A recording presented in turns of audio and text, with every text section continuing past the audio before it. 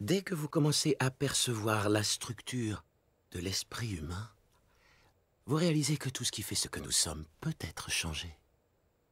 L'esprit est un mystère qui peut être résolu.